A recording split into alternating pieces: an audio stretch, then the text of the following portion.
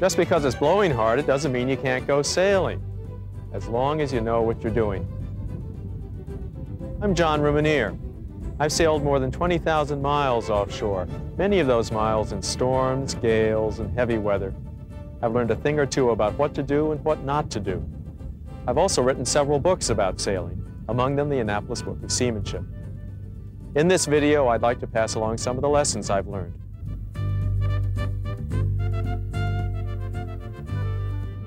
We'll be talking about how to stay on board,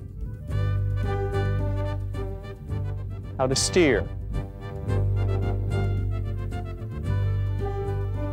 what sails to set, how to trim them,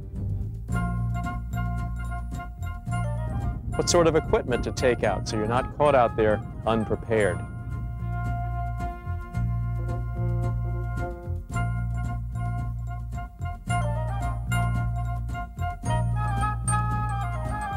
I hope that by the end of this video, you'll feel more confident about being out in heavy weather and might even enjoy it too.